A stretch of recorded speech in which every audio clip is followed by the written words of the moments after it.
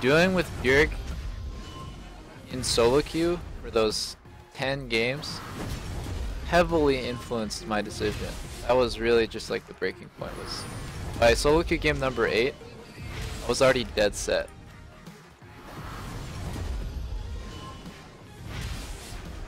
You know Aatrox pot.